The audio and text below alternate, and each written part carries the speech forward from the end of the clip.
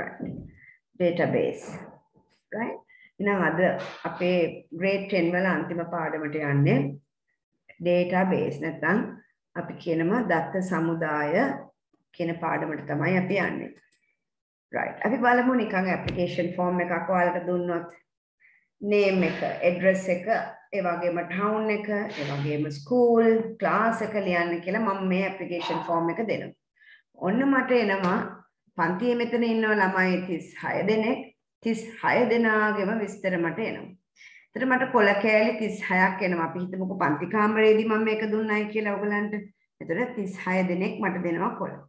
එතකොට පුතාලට පුළුවන් මේ ඔක්කොගෙම තම තමන්ගේ විස්තර ලියලා මට දුන්නාට පස්සේ ඔන්න මට කොළ 36ක් එනවනේ. ආ දැක්කද දැන් දත්ත ගොඩාක් එකතු වුණා. right. එතකොට ඒක මැනුවල් ඩේටබේස් එකක්. දත්ත එකතුවක්.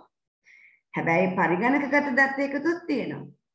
එහෙනම් මම ෆෝම් එකක් දුන්නොත් ෆිල් කරන්න ඔන්ලයින් ෆෝම් එකක් ඔන්න ඔයගලන්ට පුළුවන් මේ විදිහට ඉලෙක්ට්‍රොනිකලි දත්ත එකතු කරගන්න. එහෙනම් මොකද්ද මේ දත්ත සමුදායක් නැත්නම් ඩේටාබේස් එකක් කියලා කියනනම් හොඳ කොටුවක් ඇතුලේ ලියා ගන්න.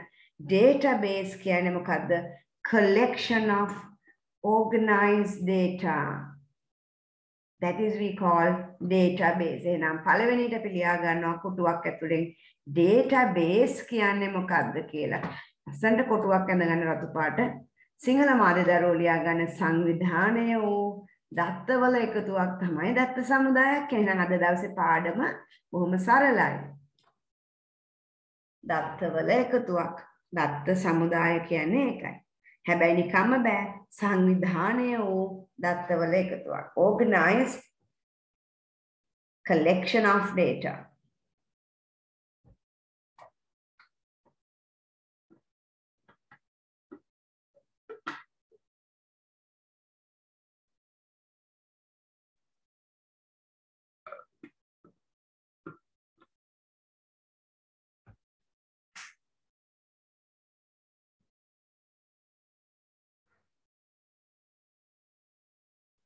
ලියලා ඉවර නම් කියන්නේ. ඒ වගේම අමතක කරන්න එපා දැන් මෙතන මේ අපි කියමු පාසලේ දත්ත සමුදාය දැන් මෙතන තියෙන දේට ටික.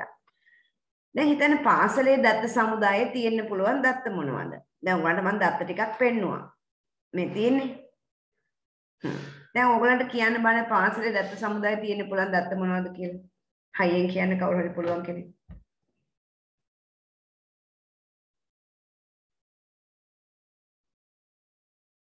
පාසලේ දත්ත සමුදායේ තියෙන්න පුළුවන් ඩේටා මොනවද? ඩේටා කලෙක්ෂන් එකක් කියලා නේ කිව්වේ ඩේටාබේස් කියන්නේ. එහෙනම් මොනවද තියෙන්න පුළුවන්? නම තියෙන්න පුළුවන්. ළමයින්ගේ නම්, ගුරුවරුන්ගේ නම් තියෙන්න පුළුවන්. තව මම එකක් කිව්වා. ඔයාලට මතක් වෙන්න ඕනේ දැන්. information about student yes information about student කො මොනවද මං කිව්වේ data data දැන් name කියන්නේ data එකක් තව මොනවද address තව ඒ වගේ කියන්න බලන්න මොනවද තියෙන්න පුළුවන් like their address and their phone numbers very good phone numbers very good නියමයි බුද්ධිමත් තව මොනවද parents data එහෙම තියෙන්න පුළුවන් නේ මොනවද parents name parents um, address telephone number date of birth um, of student නේද class ඒවා තියෙන්න පුළුවන්. ඒවා තමයි ස්කූල් ඩේටාබේස් එකේ තියෙන්න පුළුවන්. අන්න ඒකින්ද අපිට කියන්න පුළුවන් එක්තරා විෂයකට හෝ සිද්ධියකට සම්බන්ධ ඩේටා ටිකක් තමයි. දැන් මෙතන පාසලේ දත්ත සමුදාය ගත්තොත් ඒකේ නෑනේ මැනුෆැක්චරින් ඩේට් එක, එක්ස්පයර් ඩේට් එක ඒවා තියෙන්නේ සුපර් මාකට් එකේ ඩේටාබේස් එකේ.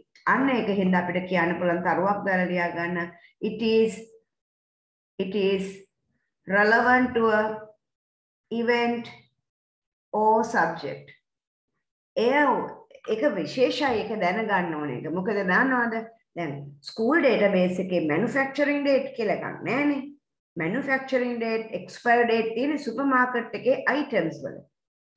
පාසලක ළමුන්ගේ දත්තවල තියෙන්න පුළුවන් ළමයාගේ උපන්දිනය, දුරකථන අංකය, නම නේද? ඇඩ්‍රස් එක ඒවා තමයි තියෙන්න පුළුවන්. ඊමේල් ඇඩ්‍රස් එක right. එහෙනම් අපි ලියමු එක්තරා විෂයකට හෝ සිද්ධියකට සම්බන්ධ. So it's relative to a subject or a uh, event.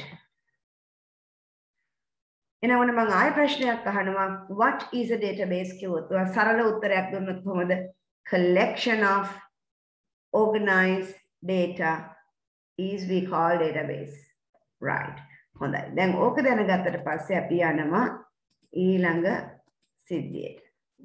Right. දැන් අපි දැනගන්න ඕනේ අපි දැන් ඔය කොච්චර database ගැන කතා කරත් සමහර database තියෙනවා මොනවාද? ඉලෙක්ට්‍රොනික වගේ ෆෝන් එක බලන්න ෆෝන් එකේ තියෙන ඔය ටෙලිෆෝන් නම්බර්ස් ටික බලන්න එකක් ඩේටාබේස් එකක්.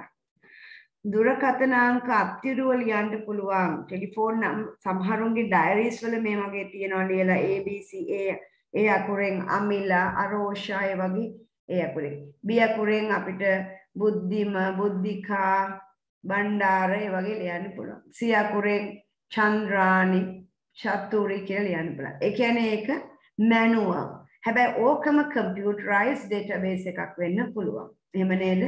එහෙනම් අපි කම්පියුටරයිස් සහ මැනුවල් අතර වෙනස අඳුන ගන්න ඕනේ. අපි ඒකට පුංචි වෙලාවක් දෙනවා. අපි ඒ අතර වෙනස්කම් මම ඒකට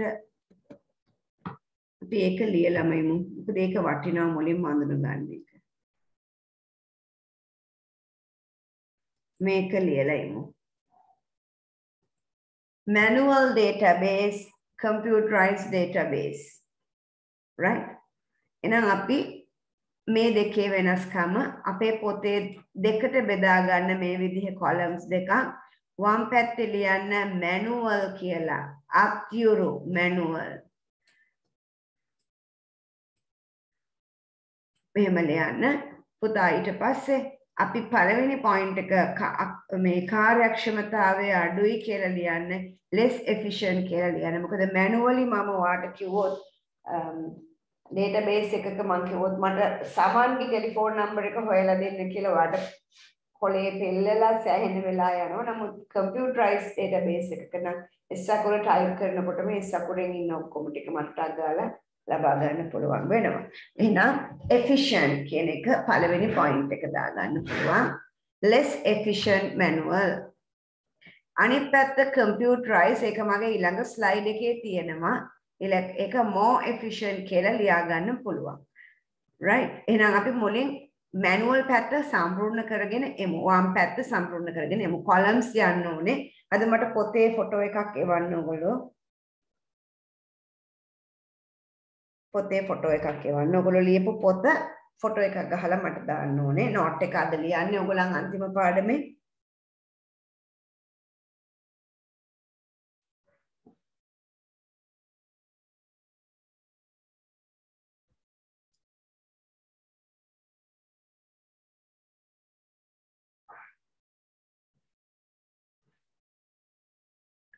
ඊළඟට නිර්වද්‍යතාවය අඩුයි. මොකද අපි දැන් උදාහරණයක් මැනුවල් ඩේටාබේස් ගත්තාම කියන්න පුළුවන්. බලන්නකො රෙජිස්ටරේ අපි ඉස්කෝලේ ගිය කාලේ මතකද ටීචර් රෙජිස්ටර් um, එක ලකුණු කරපු හැටි මතකද? එතකොට ඔයාලගේ නම කියනකොට ඔයා ඉන්නවා නැත්නම් ප්‍රසන්ට් කිව්වොත් ඔයාට එක දානවා. සමහරට ඇහුන් නැත්නම් ඔයාට ටීචර්ටත් ඇහුන් නැත්නම් ඔයා ප්‍රසන්ට් කියනවා බිඳුව දැවෙන්න පුළුවන්. ඒ කියන්නේ නිවැරදිතාවය අඩු වෙන්න පුළුවන්. Less accuracy.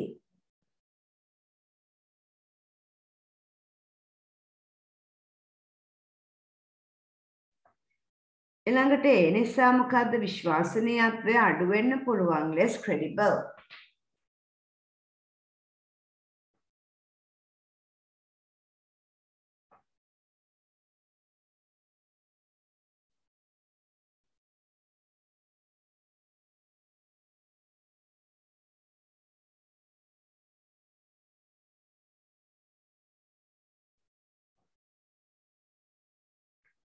ඊළඟට දත්ත විශ්ලේෂණය කිරීම අපහසුයි. Difficult to analyze. දැන් අපි කිව්වොත් මට ඕනේ පිළියන්දල ඉඳන් එන දරුවෝගේ ලැයිස්තුවක් කියලා කිව්වොත් ඒක හොයන්න මැනුවල් ඩේටාබේස් එකකින් ගොඩක් අමාරුයි. හැබැයි කම්පියුටරයිස් ඩේටාබේස් එකක් දැන් අපි හදනවා ඊළඟ සතියේ.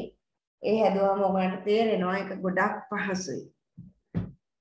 එහෙනම් දත්ත විශ්ලේෂණය කිරීම අපහසුයි කියලා ලියන්න පුළුවන්.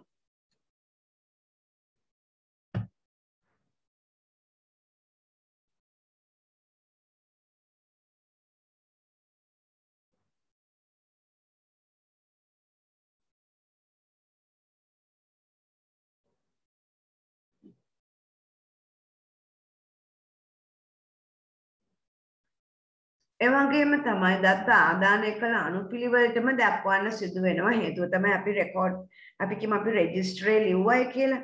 මේ රෙජිස්ට්‍ර එක ලියනකොට මේ රෙජිස්ට්‍ර එකේ විදිහටම තමයි දැන් අපි ලියන්න පටන් ගත්තාම පළවෙනි අංකේ ළමයාගේ නම ලියනවා දෙවෙනි අංකය දෙවෙනි ළමයාගේ නම ලියනවා ඔහොම ලියාගෙන යනවා. දැන් පන්තිය මාරු වෙලා තව ළමෙක් එනවා. එහෙම වුණාම එයාව දාන්න වෙන්නේ අන්තිමටම. එයාව මැදින් එන්ටර් කරන්න බෑ. right? ඉතින් ඔයගොල්ලෝ දන්නවා ඔයගොල්ලන්ගේ රෙකෝඩ් නැත්නම් රෙජිස්ටර් එකේ නම තියෙන්නේ මොන පිළිවෙලටද කියලා ඔයගොල්ලෝ දන්නවා. ඔයගොල්ලන් පාසලට පැමිණි පිළිවෙලට තමයි තියෙන්නේ. ඉතින් මේ දරුවා අපි කියමු පාසලට මුලින්ම ආපු ළමයෙක්. ඒ වුණාට දැන් පන්තිය මාරු කරනවා සමහරවල්ලාට දැකලා ඇති ඔයගොල්ලෝ විෂය මාරු කරන හින්දා පන්ති වලට දැන් ඔයගොල්ලන් 9 පන්තියට එනකොට පන්ති වලට දානවනේ ටීචර්ස්ලා. දැම්මට පස්සේ අපි කියමු A ක්ලාස් එකට වැටිච්ච ළමයාව ආපහු B ක්ලාස් එකට දාන්න වෙනවා. ළමයා තෝරාගත්ත විෂය අනුව හරි මොනවා හරි හේතුවක් නිසා. එතකොට එයාව අන්තිමටම දාන්න බෑනේ එයාව දාන්න ඕනේ. එයාගේ අංකය උඩ හරියේ තියෙන නිසා උඩ හරියට. ඒතකොට ඒක කරගන්න බෑ අපිට මේක නිසා. right මේ මොකද්ද? ආදානය කළ අනුපිළිවෙලටම දක්වන්න සිදු වෙනවා. මකන් තමයි වෙන්නේ එහෙම වුණා. ඒ නම මකන්න වෙනවා. මකලා අලුතෙන් තව නමක් දාන්න. ඒ වගේම අනවශ්‍ය දත්ත මකන්න ඉවත් කරන්න අපහසුයි. දැන් ස්පෙෂලි රෙකෝඩ් බුක් එකක් නම් අපිට මකන්න බෑ ටිපෙට්ස් කරන්න බෑ. ඒක අර බ්ලේඩ් එකකින් හොරන්න තමයි වෙන්නේ. එතකොට ඒකට යා අමාරු වැඩක් ඉතින්. right. එහෙනම් ඉතින් අපි ලියාගමු uh, should um, present in order of input difficult to delete unnecessary data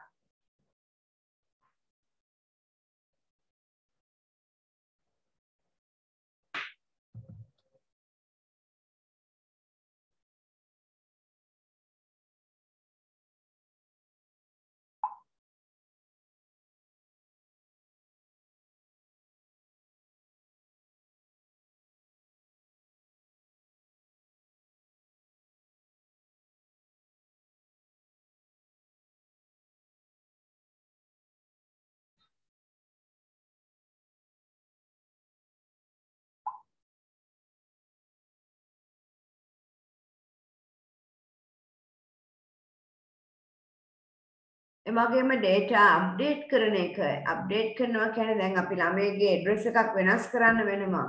එතකොට ගොඩක් වෙලාවට අපේ තාවක දැන් අපි අපි කියමු මම රත්මලානේ ඉඳලා මම කොට්ටාවට යනවා. එතකොට මගේ ලිපිනේ වෙනස් වෙනවා.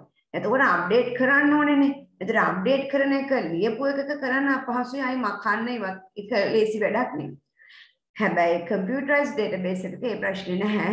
එහෙනම් අප්ඩේට් කරන එක ඩිෆිකල්ට් ටු අප්ඩේට් කියන එක ලියාගන්න.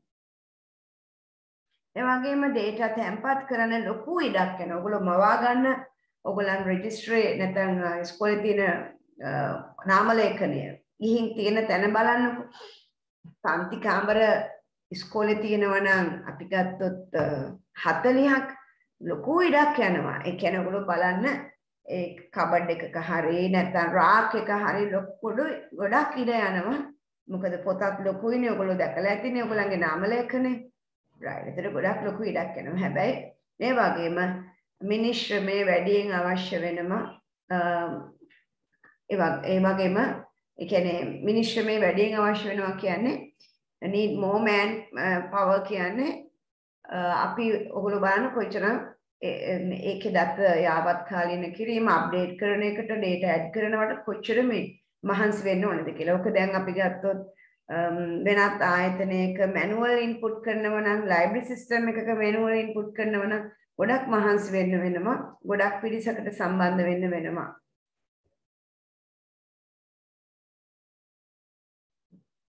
ඒක නිසා තමයි කම්පියුටරයිස් සිස්ටම්ස් දැන් දැන් බිහි වෙන්නේ. දැන් හැම පද්ධතියක්ම උදාහරණයක් විභාග අයදුම් කිරීම පවා පරිගණක ගත වෙලා තියෙන්නේ මේවා මැනුවල් කරන එක අපහසු නිසා. දෝෂ සිදුවන නිසා. ඉතින් ඉලෙක්ට්‍රොනික ක්‍රමවලට දැන් යොමු වෙනවා. දැන් අපි ඉගෙන ගමු ඉලෙක්ට්‍රොනික ඩේටාබේස් දකුණු පැත්තේ. ඔයගොල්ලන්ගේ left side එකේ ඔයගොල්ලෝ manual ලිව්වා දැන් right side you can uh, write about electronic database right more efficient දැන් අහ පැත්තේ ලිව්වේ මොකද්ද less efficient දැන් ලියන්න more efficient කියලා ඒ පේලියටම එන්න ලියන්න ඕනේ. ඒ කියන්නේ අවසානයේ මෙන්න මේ විදිහ එකක් එන්න ඕනේ. මේ විදිහ එකක් ඔබගේ පොතේ එන්න ඕනේ. Manual database electronic Sinhala medium නම් මේ විදිහ එකක් ඔබගේ පොතේ තියෙන්න ඕනේ. right. දැන් අපි යන් ඉලෙක්ට්‍රොනික එකට. More efficient more accurate අපි දැන් කලින් කතා කරපු විදිහටම වැරදි වෙන්නේ නැහැ නේද? දෝෂ අපමයි.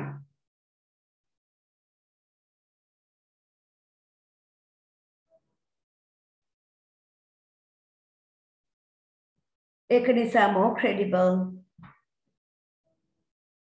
easy to data analyze easy to analyze data දත්ත විශ්ලේෂණය පහසුයි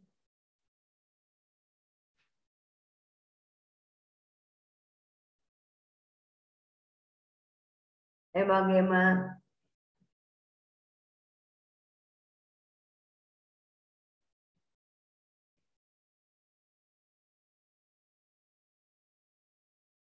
can change the data input order වාට ඕන විදිහට order වෙනස් කරන්න පුළුවන්. ඔය මුලින් input කරපු එක පස්සට දාන්න පුළුවන් ඊට පස්සේ මාරු කරන්න පුළුවන්. And easy to edit වාට edit කරන්නත් ලේසි. ඒ කියන්නේ can change data input order easy to delete unnecessary data ඕන නැති ඒවා මකන්න පුළුවන්. කලින් අපිට ඉවත් කරන එක අපහසුයි. දැන් පහසුයි. easy to update වෙනස් කරන්න යාවත්කාලින කරන්න ඉස්සෙල්ලා බෑ මැනුවල් එකේ දැන් පුළුවන් අපිට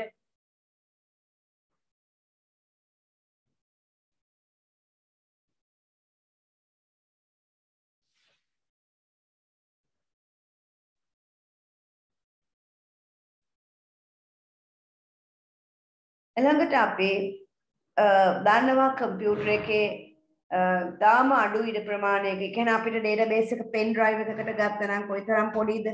ඩේටාබේස් එක පොකට් එකේ දාගෙන යන්න පුළුවන් නේද? right bag එකේ දාන් යන්න පුළුවන්. ඒ කියන්නේ very small space needed to save data. Database එක පෙන් එකක දාගත්තොත් පෙන් ඩ්‍රයිව් ෆ්ලෑෂ් මෙමරි එකක මගේ පොකට් එකේ දාන් යන්න පුළුවන් නේ? මගේ බෑග් එකේ දාන් යන්න පුළුවන් හෑන්ඩ් බෑග් එකේ. Right.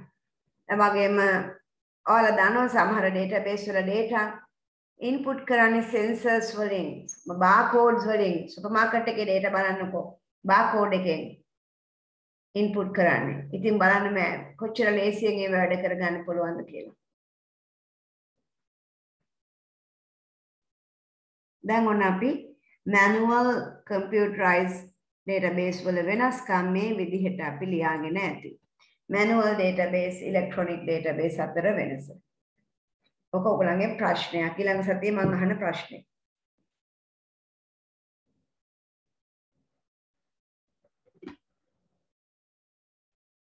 හොඳයි. ඊට පස්සේ අපි යනවා මෙන්න මේ වංගුව ඇඳ ගන්න. දැන් අපි මේ දෙකේ වෙනස්කම් අඳුනගත්තා. දැන් අපි යනවා සරල වගුවක් හඳුනා ගන්න. මේ වගුවක මේ පෙන්වන්නේ මොනවාද කියන අපි දැනගන්න ඕනේ. මේවට කියනවා ෆීල්ඩ් කියලා. මේවට කියනවා පේලි. පේලි කියන්නේ රෙකෝඩ්ස් කියලා කියනවා. ඉතින් ඕක අපි දැනගෙන ඉන්න ඕනේ. මේ මොනවද කියන එක අපි දැනගෙන ඉන්න ඕනේ. තේරුණාද? මුළු එකටම වගුව කියනවා. මුළු එකටම වගුව කියනවා. ඒ වගේම මේවා අපි අඳුන ගන්න ඕනේ මොනවද ෆීල්ඩ්ස් කියලා අපි අඳුන ගන්න ඕනේ මේ තීරු වලට කියනවා ශේෂ්ත්‍ර නැත්නම් ෆීල්ඩ් කියලා කියනවා. ඒ වගේම පේලි වලට මෙන්න මේ වගේ රෝල්ස් වලට අපි නමක් කියනවා රෙකෝඩ් එකක් කියලා කියනවා. ඒක දැනගන්න ඕනේ.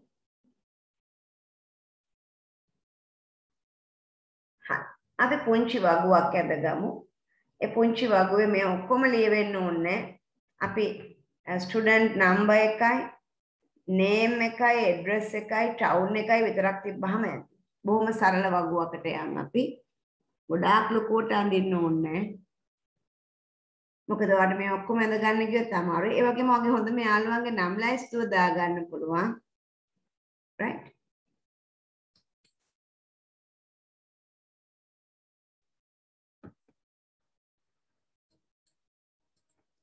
මම මේක බොහොම සරල කරලා දෙන්නම් ඔයගලන්ට මෙන්න මෙතනින් එහාට මම බලාපොරොත්තු වෙන්නේ මොකද ගොඩක් වැඩියෙන් අපිට ලියන්න අවශ්‍ය නැහැ.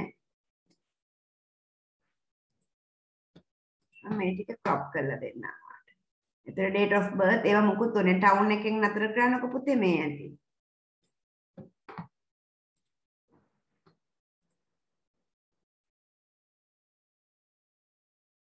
හරි.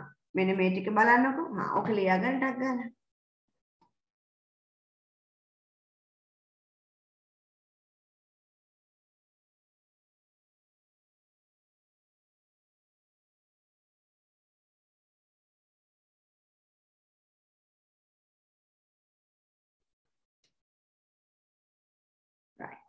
In 2019, MCQ number 21.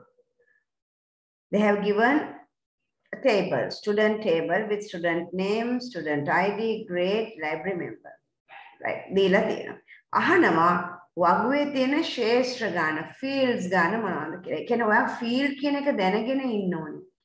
field එකක් කියන්නේ මොකද? මේ record එකක්. field එකක් කියන්නේ මේ උඩින් තියෙන එකක්. එහෙනම් count කරාම 1යි දෙකයි තුනයි හතරයි හතරක් තියෙනවා එහෙනම් පිළිතුර හතර වෙන්න ඕනේ.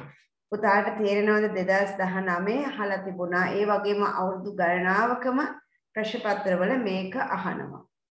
මේ මේ කොටස ගැන අවධානයෙන් ඉන්න ඕනේ. ඒ කියන්නේ ඔයා ෆීල්ඩ් එකක් කියන්නේ මොකද්ද? ඒ වගේම ඔයා දැනගන්න ඕනේ රෙකෝඩ් එකක් කියන්නේ මොකද්ද? ෆීල්ඩ් එකක් කියන්නේ කොලම් එකකට Um, ෆිල්ඩ් එකේ සිංහල නම ශේෂ්ත්‍රය කියන්න පුළුවන්. රෙකෝඩ් එකක් කියන්නේ මේ විදිහ පේලියක්. එක ළමයෙක්ගේ විස්තරයක් කියන්නේ එක රෙකෝඩ් එකක්. ෆීල්ඩ් එකක තියෙන වෙනස තමයි එක වගේ දත්ත තමයි තියෙන්නේ. දැන් නම් නම් නම් ටිකක් පියල් කුමාර ඉස්ලාම් හුම නම් ටිකක් තියෙනවා. ඒක දැනගන්න ඕනේ. රයිට් ලියා ගන්න 2019 අවුරුද්දේ 21 වෙනි ප්‍රශ්නය කියලා ලියා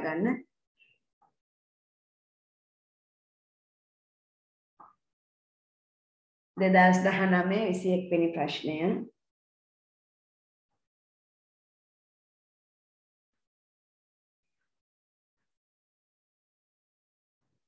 ආවල් ප්‍රශ්න පත්‍රය ඇති.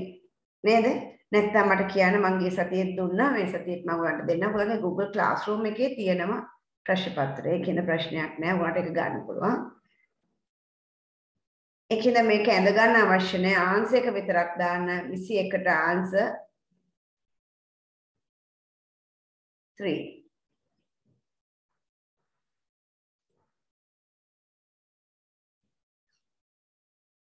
right. ඒක ඇත්තටම අපි දැනගත යුතු කාරණයක් වෙනවා.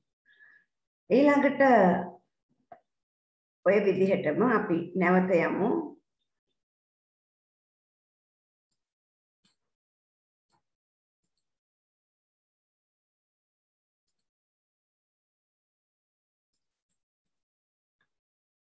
දෙදස් විස්ස අවුරුද්ධට යන දෙදස් විස්ස අවුරුද්දේ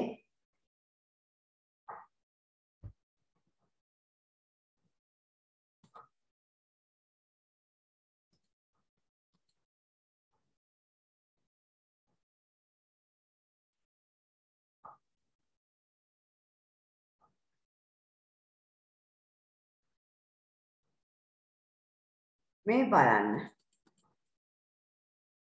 ඉංග්‍රීසි මීඩියම් ආගේ පේපර් එකත් මම ගන්නම්. හොඳට බලන්න ලියාගන්න 2020 කියලා. ඒ කියන්නේ ගිය අවුරුද්දේ පේපර් එක.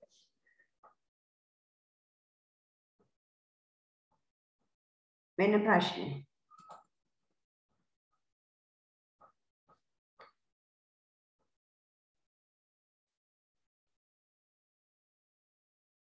Now you can see a table here supply id item id purchase date quantity ahane write down the number of fields and number of records in about table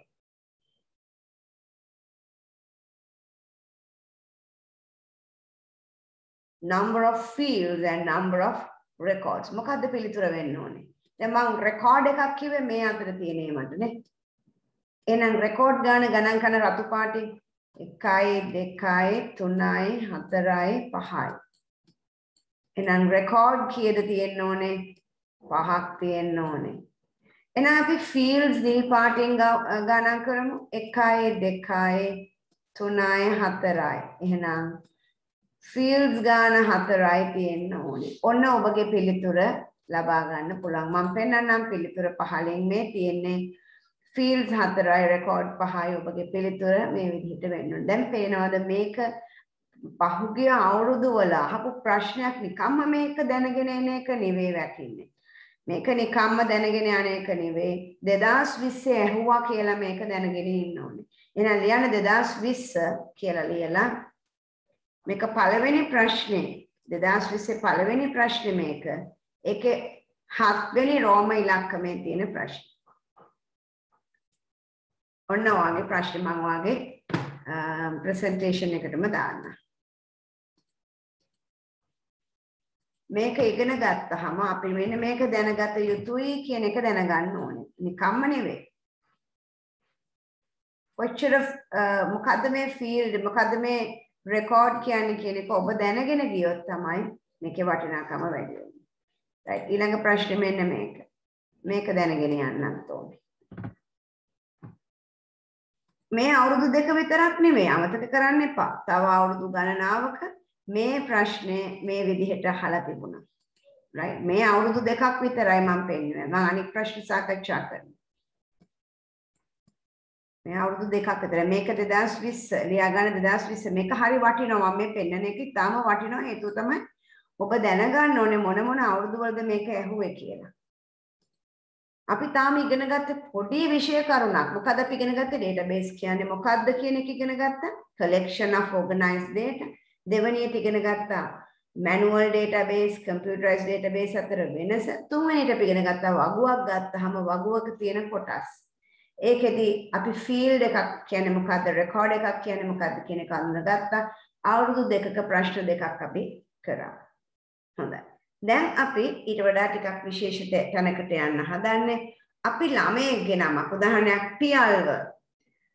තව පියල් කෙනෙක් මේ පන්තියට ආවොත් වෙන් වෙන්ව අඳුන ගන්න අපිට පාවිච්චි කරන්න වෙනවා විශේෂිත වූ නම පාවිච්චි කරන්න බෑ. මොකද පියල්ලා කීප දෙනෙක් ඉන්න පුළුවන්. එතකොට සමන්න කීප දෙනෙක් ඉන්න පුළුවන්. එතකොට අපිට ප්‍රාථමික යතුර කියලා අපි විශේෂ ෆීල්ඩ් එකක් හොයා ගන්නවා මේකේ නම් ස්ටුඩන්ට් ID ගන්න පුළුවන්.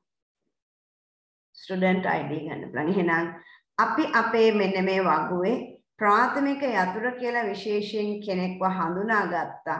අන්න එයා ගැන විස්තරයක් දැන් අපි ලියනවා. මේක රතු පාටින් ලියන්න ඕන. මේක විශේෂම දේ මුළු සමස්ත ඩේටාබේස් එකේ වටිනාම කොටසක් තමයි මේ කතා කරන්නේ.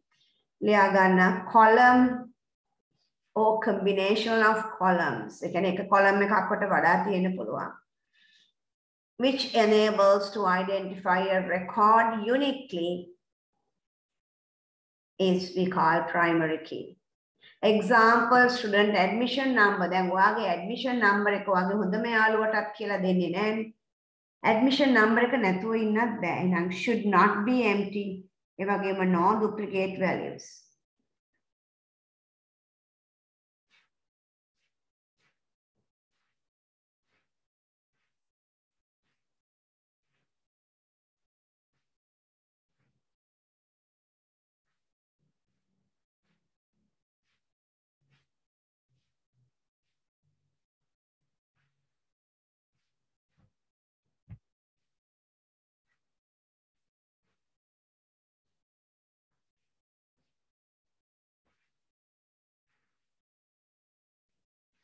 ඊට පස්සේ ලියාගමු special attributes of primary key එකයි මම කිව්වේ හිස් වෙන්න බෑ should not be null should not be empty. ඒ කියන්නේ ඔයාට පුළුවන් ද admission number එකක් නැතුව ඉන්න ඉස්කෝලේ බෑ නේද? ඔයා පැමිණීමේ අංකයක් ඔයාගේ ඇතුළත් වීමේ අංකයක් තියෙන්න ඕනේ. අපිට පුළුවන් ද identity card එකක් නැතුව ඉන්න බෑ identity card එක අංකයක් තියෙන්නම ඕනේ. ඒ වගේම මගේ identity card number එක මගේ හොඳම යාළුවාගේ තියෙන්න පුළුවන්ද? එහෙම බෑ. ඒ කියන්නේ no duplicate values එකම අගය same value do not exist. සමාන අගයන් නොපවතිනවා. අන්න ප්‍රාථමික යතුරක තිබිය යුතු ලක්ෂණ. ඒතර ඔබගෙන් අහන්න දැනගන්න පුළුවන්. අනික ඔයාට තනියම හොයාගන්න පුළුවන් primary මේවානේ මේවා එකපාර repeat වෙන්නේ නැහැ හිස් වෙලා තියෙන්නේ මේ primary key එක. Primary key එක හැම විටම column එකේ පළවෙනියට තියෙනවා කියලා නීතියක් නැහැ. දැන් මේ අවුරුද්දේ column එකේ දෙවෙනියට තියෙන්නේ මේ primary key එක. grade එක primary key එකක් වෙන්න බෑ. හතේ ළමයි දෙන්නෙක්ම ඉන්නවනේ. නම වෙන්නත් බෑ. මොකද පියල්ලා දෙන්නෙක් ඉන්න පුළුවන්. සුනිල්ලා දෙන්නෙක් ඉන්න පුළුවන්. සරත්ලා දෙන්නෙක් ඉන්න පුළුවන්. right ඒක හින්දා මේ පන්තියත් බලන්නකෝ ළමයි එකම නම තියෙන කීප දෙනෙක් ඉන්න පුළුවන්. අන්න ඒක නිසා ඒක තේරුම් ගන්න ඕනේ. අපි හොඳට ලියාගමු මේක. රතු පාටින් හරි වෙන පාටකින් ලියාගත්තොත් තමයි වටින්නේ.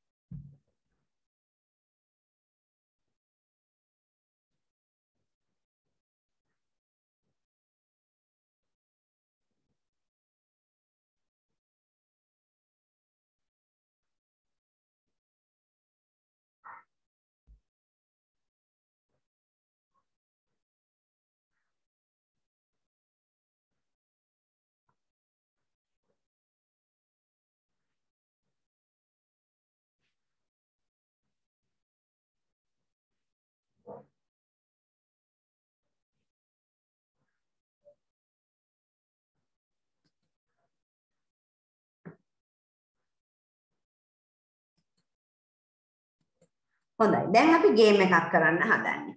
ගේම් එක තමයි අපි ඔව් පුතේ ලියාගන්න බැරුව නැත්නම් ඔව් මිස් පොඩ්ඩක් ආයේ ආ රයිට් හරි.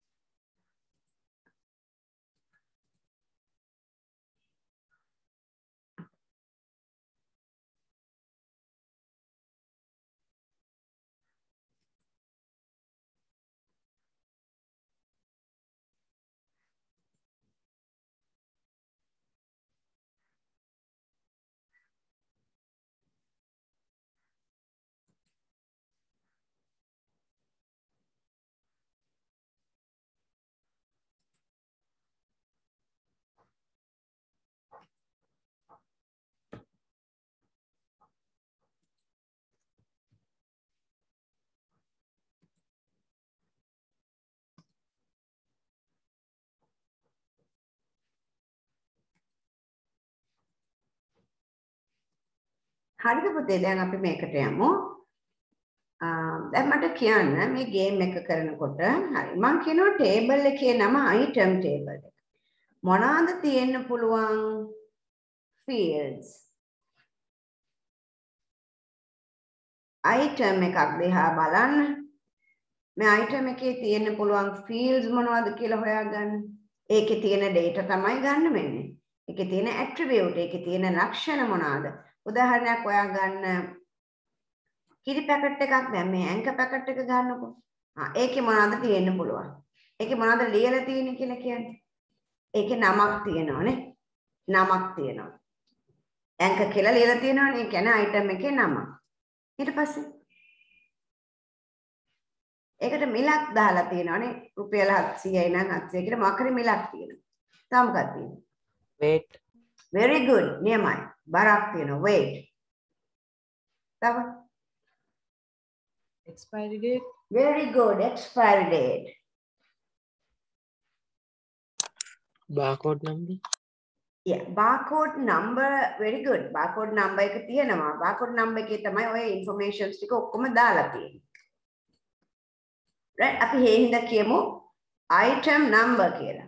Item එක වෙනම අඳුන ගන්න item number එකක් තියෙනවා දැන් anchor packet මගේ මේ අපි කියමු මම යනවා සතොස එකට සතොසේ තියෙනවා anchor packet 1යි 2යි 3යි මේක රාකෙට් දාලා තියෙනවා දැන් මේ anchor packet එක තමයි මම ගන්නෙ ඒතර මේක මේකෙන් වෙන් කරලා අඳුන ගන්න මේකට item අංකයක් තියෙනවා. anchor වල 1, anchor වල 2, anchor වල 3. ඔයගේ අංකයක් තියෙනවා. එතකොට මම තමයි මේක ගත්තේ. එහෙම වෙනම අඳුන ගන්න. එතකොට අපි දන්නවා මේ මුළු රාක්කේ තිබුණු මුළු anchor packet ගන්න තුනයි. ඒ තුනෙන් එකක් මං ගත්තා. එහෙනම් එකක් වෙනම අඳුන ගන්න පුළුවන් වෙන්න ඕනේ. හරියට ඔයාලා වෙනම අඳුන. ඔයාලා සිසුවා නම් එක සිසුවෙක් අනෙක් සිසුවගෙන් වෙන් කරලා අඳුන ගන්න නමෙන් අමාරුයි. ඇංක කියලා බාණ්ඩෙන් අමාරුයි. එයාට අංකයක් දුන්නා වගේ ඔයාටත් අංකයක් දෙනවා. ස්ටුඩන්ට් ID නැත්නම් අපි කියනවා ඇඩ්මිෂන් නම්බර් කියලා ස්කෝලේ නම් ඇඩ්මිෂන් නම්බර් කියලා. එක්සෑම් එකට යනවා නම් ඔයාට වෙනම දෙනවා. එක්සෑම් නම්බර් එකක් දෙනවා. ඒකෙන් තමයි අපි රිසල්ට්ස් බලන්නේ. right? ඒක අනන්‍යයි. ඒක යුනික්. ඒක ඩුප්ලිකේට් වෙන්නේ නැහැ. ඒක තමයි ප්‍රයිමරි කී කියලා කියන්නේ. එහෙනම් ඔන්න අපේ ගේම් එක මෙහෙමයි වෙන්නේ ලියාගන්න වගුවේ නම වගුවේ නම උඩ ලියාගන්න මම මේ ලිව්වා වගේ item item table කියලා ලියන්න ඊට පස්සේ මගේ පුතාලා පහලට පහලට පහලට ලියාගන්න මේකේ ලියාව ලියන්න පුළුවන් fields මොනවද කියලා එකක් මම ලියනවා item item number තව එකක් ලියනවා මං item name. තව එකක් ලියනවා මං price. ඔය විදිහට දැන් පුතෙක් කිව්වා අපිට weight කියලා. ඕක තමයි ගේම් එක. එතකොට අවසානයේ අපිට මේ විදිහ වගුවක් හදා ගන්න පුළුවන් අපි පහළ පහළට ලියාගෙන යන්න. මෙහෙම ලියන්න නැතුව මේක තමයි හැදෙන්නේ වගුව. ඔයාට මෙහෙම කරන්නත් පුළුවන්. මෙහෙම ලියන්නත් පුළුවන්. පහලට ලියමුද මෙහෙම ලියුවොත් ඉඩ මදි. වට ගොඩක් තියෙනවා. දැන් expiry date manufacturing date. මේගොල්ලෝ ගොඩක් විස්තර කිව්වා. weight ගැන කිව්වා. description මේක ගැන විස්තරයක් තියෙන්න එපා right. ඊට පස්සේ ඔයා මෙහෙම දෙයක් කරන්න රතු පාට පෑන ගන්න අතට අරගෙන මේ item number කියලා ලියපු එක රවුන්ඩ් කරලා එතන මෙන්න පොඩි අතුරක් ඇඳ ගන්න. ඒ කියන්නේ primary key එක. primary key එක හොයාගන්න. primary key එක. දැන් අපේ ගේම් එක තේරුණාද? මම ටේබල් එක දෙනකොට ඔයගොල්ලෝ ෆීල්ඩ්ස් ටික ලියාගෙන ලියාගෙන ගිහිල්ලා primary key එක හොයාගන්නයි ගේම් එක තියෙන්නේ. අපි ඉක්මනට කියාගෙන යන්න ඕනේ මොනවද අදාළ ෆීල්ඩ්ස් කියලා.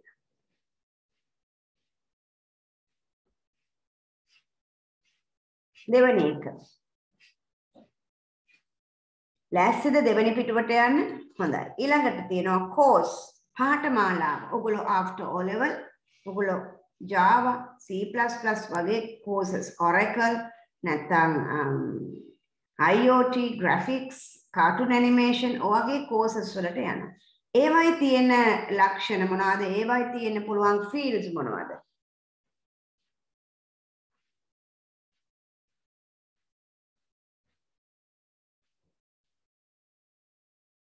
කියන්නකො බලන්න එක. course number very good අනිවාර්යෙන්ම ඔන්න දැන් ඒ පුතා ඒ පැටර්න් එක තේරුම් අරගෙන තියෙනවා අනිවාර්යෙන්ම අපි course කියලා table එකක් දුන්නොත් course number කියන එක මුලින්ම ලියලා ඒක තමයි primary key එක. course number කියලා අනිවාර්යෙන් ලියලා එයාව අයින් කරනවා primary key එක. ඒක තමයි tip එක. item නම් item number, student නම් student number, teacher නම් teacher number, employee නම් employee number අනිවාර්යයෙන්ම ඒක අයින් කරගන්න ටක් ගාලා. ඒ තමයි primary key එක. දැන් පටන් ගන්න. ඉතුරු ටික කියන්නේ. Course name. Very good. Course name.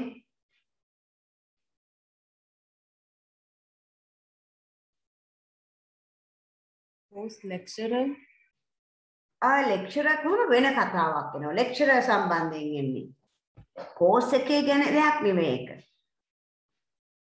හරියට student ගේ අ, ඉගෙන ගන්න subject ගැන කිව්වා වගේ. subject කියන්නේ වෙන මාතෘකාවක්. course එකේ මොනවද තියෙන්න පුළුවන්? course එකට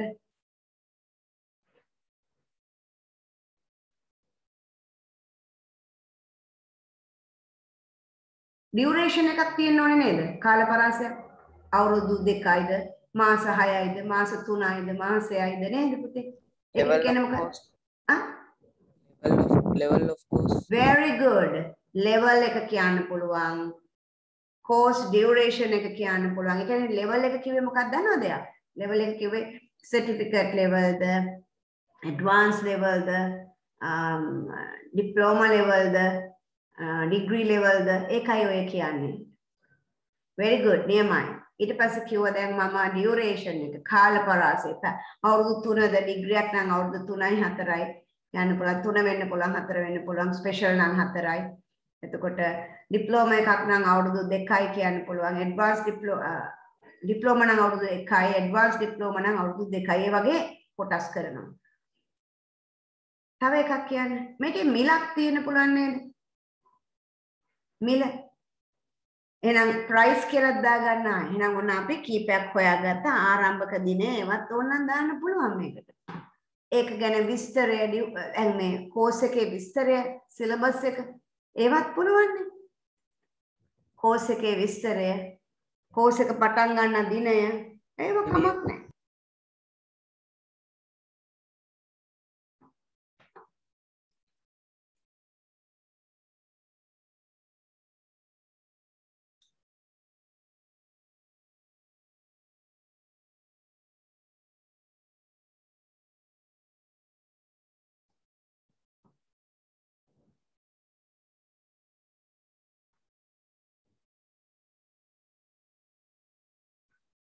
මට කියලා දෙනවා ප්‍රීවියස් ස්ලයිඩ් එකට යන්න කියලා මේ මේ පුතා මේකද යන්න ඕනේ. ද මේකද? මට මැසේජ් එකක් දාලා තිබුණා මේකද පුතේ වට ඕනේ. The one after this. After. Yes, it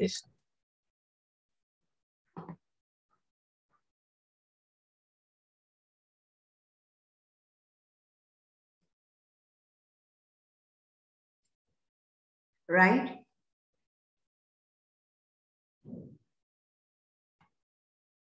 Okay, done, right? Yes, teacher. Good. Okay, we'll go to the next one. Next game, teacher. Teacher table එකේ මොනවද තියෙන්න පුළුවන් teacher ගේ තොරතුරු?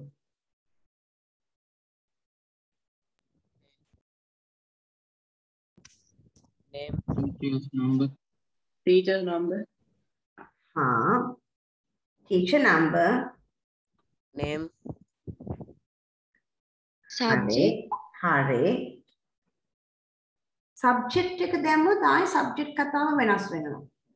අපි ටීචර්ටම සම්බන්ධ කරලා ටිකක් දාමු. ටීචර්ස් අපොයින්ට්මන්ට් ඩේට් එක, teacher birthday, teacher address, teacher telephone number, teacher email address කන් ටීචර් ගෙම ටික දාමු. අර සබ්ජෙක්ට් කියලා එහෙම කඩන්න එපා. මොකද සබ්ජෙක්ට් එක යන්නේ සබ්ජෙක්ට් සම්බන්ධයෙන්. Teacher, can we get teacher's qualifications? very good අන්න හරි teachers qualifications දාන්න පුළුවන් නියමයි ඒක අපිට ලොකු විස්තරයක් විදිහට දාන්න පුළුවන් කවුද ඒ කිව්වේ මම teacher. very good බුද්ධිමන් very good මොකද හේතුව අපිට හැම වර්ගයේම දත්ත හඳුන ගන්න පුළුවන් වෙන්න ඕනේ. right. දැන් වා කියපු දත්ත දාන්න විදිහක් තියෙනවා. මම ඒක විස්තර කරලා දෙන්න. එහෙනම් අපි ඒ ටික ලියාගමු. teacher name teacher number අනිවාර්යෙන්ම ඕනේ. ඒක තමයි primary key එක හැම විටම table එකේ නම පිටිපස්සට number කියලා දාන්න. ඔයාලට tip එකක් මම ඒ දුන්නේ. අඳුර ගන්න පුළුවන් primary key එක. ඊළඟට name එක, teacher ගේ name එක, address එක, email address එක, telephone number එක, teachers ගේ qualification එක, teacher ගේ first appointment date එක ඔය විදිහට යන්න පුළුවන්.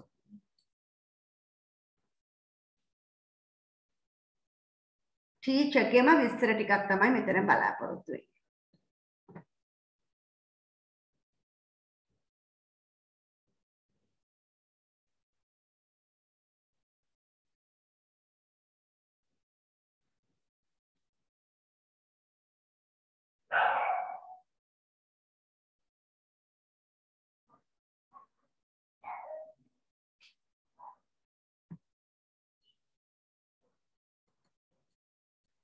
Employee ඊළඟ ගේම් එක employee අපේ අම්මලා තාත්තලා රැකියා කරනකොට අපි රැකියාවේ ඉන්න සේවකයා කියලා අපි කතා කරනවා. ඔයගලගේ අම්මාගේ තාත්තගේ තොරතුරු මොනවද තියෙන්න ඕනේ ආයතනය තුල? අනිවාර්යෙන් වගුවේ නමට පිටිපස්සෙන් අංකය කියලා ලියලා employee නම් සේවකයා සේවක අංකය කියන එක අනිවාර්යෙන් primary key එක වෙනවා. හරි දැන් කියන්නකෝ බලන්න ඉතුරු ටික. Right, very good. Nehemiah? Address. Address. Employee name. Mm, very good. Birthday. Birthday, very good. Employer's yeah. ID. Employer's ID. Telephone number. Mm -hmm. Email address. අන එකටත් qualification දාන්න පුළුවන්. qualifications දාන්න පුළුවන්. right? මම මේ කීපයයි දාලා තියෙන්නේ පුතාලා ඊට වඩා ගොඩක් විස්තර කිව්වා birthday කිව්වා email address කිව්වා qualifications දාන්න පුළුවන් ඒ විදිහට employee uh, table එකත් සම්පූර්ණ කරගන්න.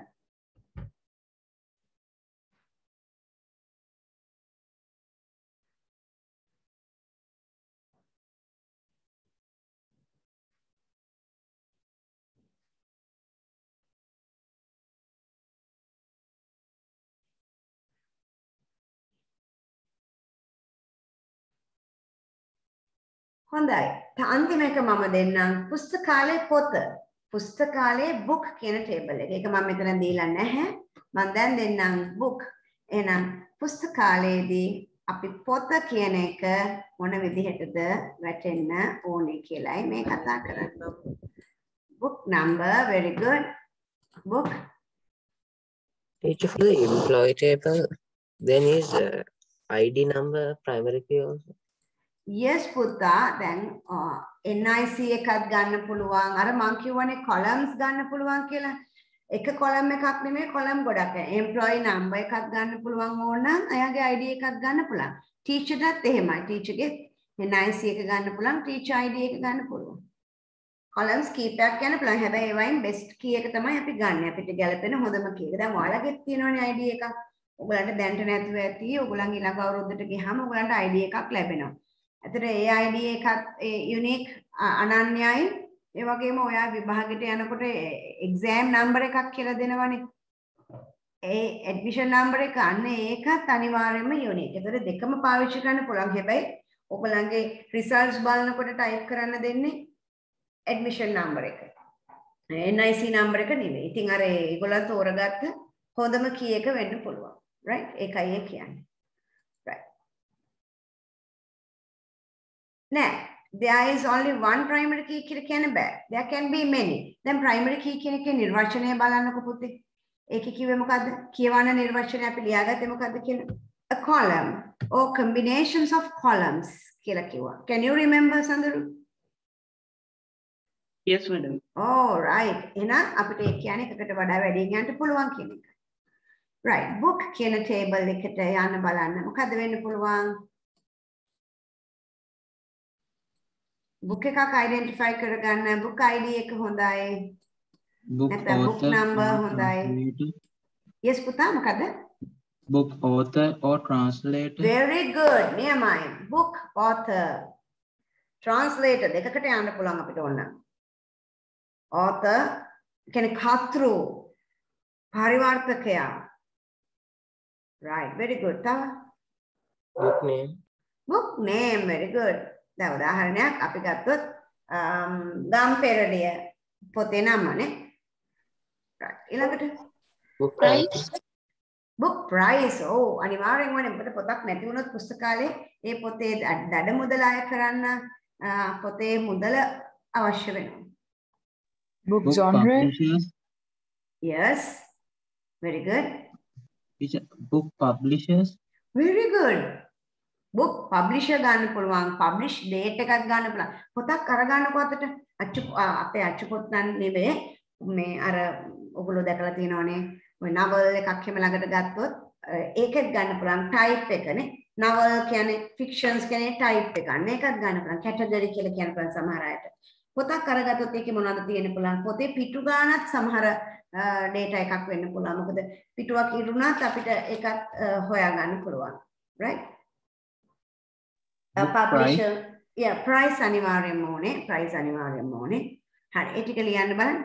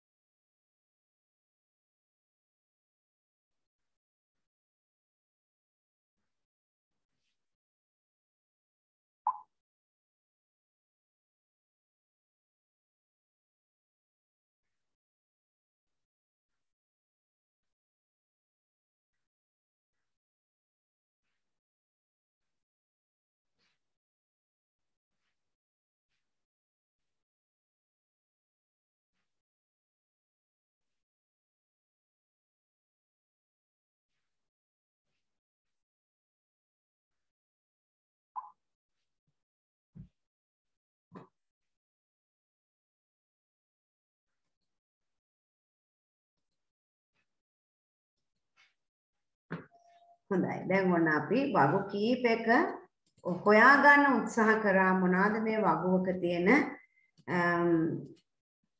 කොලම්ස් නැත්නම් අපි මේකට ෆීල්ඩ් එකක් වෙනවා ෆීල්ඩ්ස් හොයාගන්න මහන්සි වුණා. ඔන්න එහෙනම් මම කිව්ව නේද මේවයි ප්‍රශ්න අහලා තිබුණායි කියලා මේ තව ප්‍රශ්නයක්.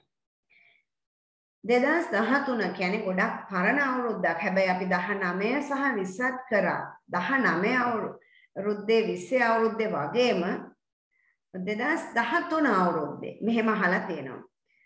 වගුවක් දීලා තියෙනවා part number, part name, quantity, unit price කියලා optical mouse, USB flash uh, drive, uh, ඒ වගේම DVD uh, rewritable drive එකක් දීලා තියෙනවා. වගුවේ ඇති එක පරිගණකයක උපාංග හොඳට කියවන්න. වගුවේ ඇති එක පරිගණක උපාංගයට අදාළ සියලු දත්. ඒ කියන්නේ ඔය ඇඟිල්ල මෙහෙම තියාගෙන මෙන්න මෙහෙම මෙහෙම තියාගෙන මේ විදිහට යනකොට මෙහෙම බලා ගන්න එක්කෙනෙක් ගාව ඔහොම යනකොට මොකද්ද ඔයා මේ මොනාගෙනද මේ කතා කරන්නේ මේ කියන්නේ රෝ එකක් කියන්නේ එක එක අයිටම් එකක මෙන්න මේ විදිහට අරගෙන යනකොට ආට මොනවද හම්බ වෙන්නේ කියලායි අහන්නේ. ඒක ෆීල්ඩ් එකක්ද රෙකෝඩ් එකක්ද? ඒකයි වැදගත් වෙන්නේ. මොකක්ද ඒකේ උත්තරේ එන්නේ? Record එක. very good ඒක. රෙකෝඩ් එකක්. ඒක රෙකෝඩ් එකක්. එක ළමයෙක්ගේ විස්තරයක් කියන්නේ රෙකෝඩ් එකක්. දැන් ඔප්ටිකල් මවුස් එකේ විස්තරය ගත්තොත් ඒක රෙකෝඩ් එකක්. ඒකයි මේ කියන්නේ. right? ඒ වගේම අහනවා වගුවේ ඇති ශේෂ්ත්‍ර ගණන කීයද? fields ගන්න ඉංග්‍රීසියෙන් fields ගන්න. ශේෂ්ත්‍ර කියන්නේ field. field ගණන කීයද? Four, එක අන්න හරි. එක දෙක තුන හතර හතරයි. එහෙනම් පිළිතුර මෙන්න මේක වෙන්න ඕන. ලියා ගන්න අවුරුද්ද විතරක් පොතේ 2013 22 23 ආන්සර්ස් දෙක දාගන්න මේ පළවෙනි එකට ආන්සර් එක මේක sorry පළවෙනි එකට ආන්සර් එක රෙකෝඩ් එක අ, දෙවෙනි එකට ආන්සර් එක තුන. තව දෙයක් නෝටිස් වුණාද විශේෂ දෙයක් කරුවක් දාලා ලියා ගන්න. එක ෆීල්ඩ් එකක් ගත්තොත් එක වර්ගයේ දත්ත තමයි තියෙන්නේ. උදාහරණයක් prices. මේක නම් අංක ටිකක්. මේක නම් හකුරු ටික. කියන්නේ කිසියම් පාර්ට් නම් නේම් ටිකක්. ඒක තේරුණාද? එක වර්ගයේ දත්ත තියෙන්නේ. same data. එක වර්ගයේ දත්ත තියෙන්නේ. මේවා හැම නෙවෙයි විවිධ විවිධ දත්තවල එකතුවක් තමයි මේක. ඔන්න ඔය වගේ සියුම්ව ඉගෙන ගන්නයි ඕනේ. තේරුම් නැත්නම් කියන්න මට. හරි මේ 2012 ඊටත් වඩා පරණ අවුරුද්දක්. ඒකේ පළවෙනි ප්‍රශ්න දෙක කරන්න පුළුවන්.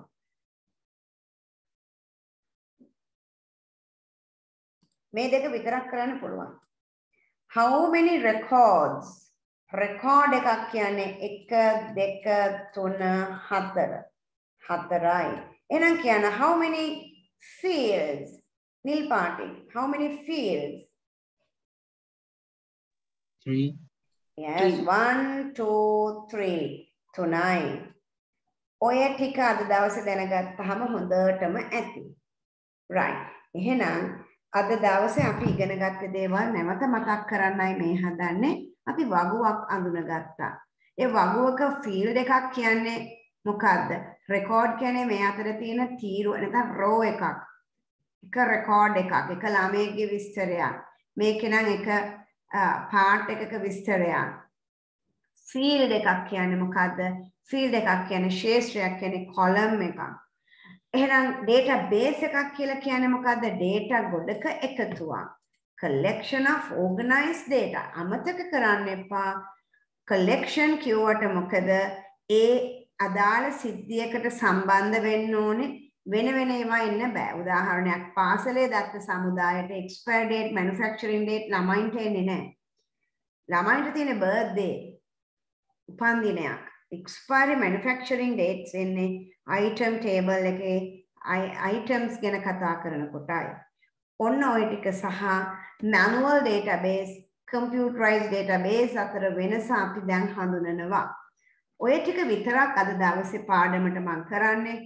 මොකද මේ පාඩම අපේ අන්තිම පාඩම සහ වැඩියෙන්ම ප්‍රශ්න එන පාඩම. ඒක නිසා අපි පරිස්සමෙන් උත්තර දෙන්න ඕනේ.